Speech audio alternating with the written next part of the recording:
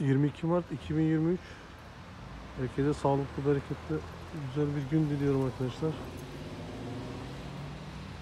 Kanalıma abone olursanız çok sevinirim. Elinize sağlık. Koca Musa Paşa'nın göbeğinde artık böyle gece kondu evler 1950'lerin 60'ların simgesi maalesef yıkılıyor. Böyle binalar yapılıyor arkadaşlar. Belki bunlardan 3-5 tane onarıp bıraksalar. Önde de var. Burada kiler yıkılacak mı bilmiyorum ama herhalde bunlar da gidecek. Dayanması güç. Ondan sonra görüyorsunuz ne kadar tarihi otantik böyle çamaşırlar. Bunları biz artık filmlerde göreceğiz arkadaşlar fotoğraflarda. Evet bu ada boydan boya yıkılma ihtimali var arkadaşlar bütün parsı. Gene burada da güzel bir yer var. Böyle dışarıda oturuyorlar yazın.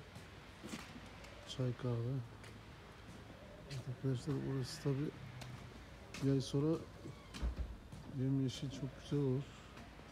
Görüyorsunuz ne kadar güzel bir yer. Evet arkadaşlar.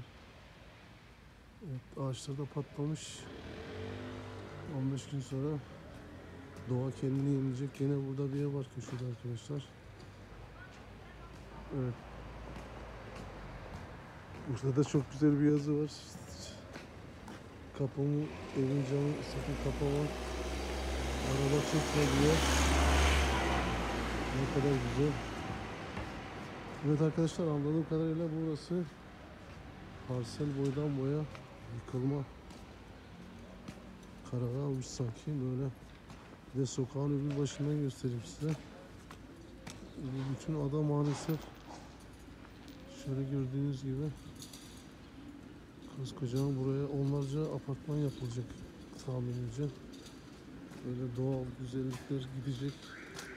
Ha, bu halde değil de bunları böyle temiz boyayıp onarıp sağlaştırıp böyle yeşillikleri ağaçlıklarıyla bıraksalar şimdi bu ağaçları bile yıkarlar bunlar. Yani tarihi gene bir telgraf diri arkadaşlar. Ahşap, tahta. Çok güzel bir manzara. Evet. e, Belki bir sene sonra arkadaşlar sağdaki gibi burada apartmanlar yükselecek buralarda. Böyle ağaçlar, yeşillikler, evet böyle sarmaşıklar göremeyeceğiz. Buralar yazın yemyeşil. Evet bunlar da kalsa böyle müze müze gibi ya da gezilme yeri gibi bakımlı şu evler ne olur yani. Evet, maalesef bütün böyle bu ada parsel ne deseniz böyle işte iki, 300 metre 200 metrelik bir yer gidecek. Tabi böyle değil de buralara bakım yaparsınız.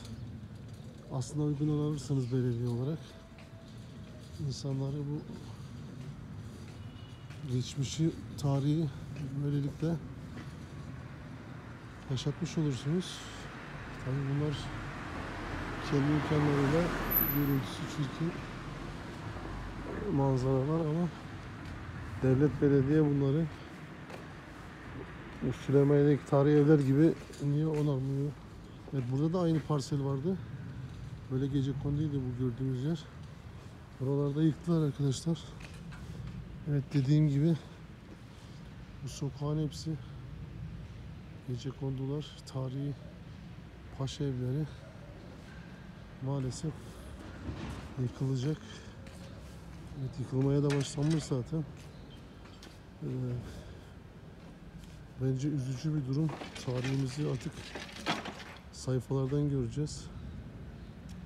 Keşke bunlar korunabilse. Evet arkadaşlar kendinize iyi bakın. İstanbul'un göbeğinde böyle betonlaşma. Şöyle bir deprem olsa iki arasında kaçacak yeriniz yok. Ortada dursanız binalar üstünüze yıkılır. Halbuki böyle şöyle iki katlı gece konudan önünde dursanız üstünüze hiçbir şurada düşünün deprem oldu. Şurada dursanız üstünüze enkaz moloz gelmez. Ama şurada dursanız yani Hem nefes almak için yeşilliklere bakın arkadaşlar. Şurası yazın yemyeşil. Bir de şu tarafa bakın. Bir tane yeşil ağaç yok.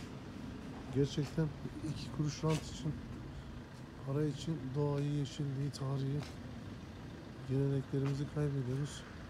Evet arkadaşlar şurada durursun. Şu bina yıksa bile sana hiç zararı olmaz bak şurada. Bina yıkılsa yıkılmaz da şu bina yıkılsa ne olur bir katlı, birer katlı. Ama şu bina yıkılsa, şu binalar yıkılsa arkadaşlar sokakta kaçacak yer yok. Arkadaşlar takdir sizin. Lütfen kanalıma abone olup videoları sonuna kadar seyrederseniz sevinirim. Sonuna kadar seyrettiğinizde bizim kazancımız artıyor. Kendinize iyi bakın. Umarım burası, buralar tarihi dokusuna uygun olarak tamir edilir ve gelecek nesillere bir miras olarak bırakılır. Hepinize saygılar, sevgiler. Eksik olmayın arkadaşlar. Var olun. Gelecek videolarda görüşmek dileğiyle. Kendinize iyi bakın. Eksik olmayın. Esen kalın.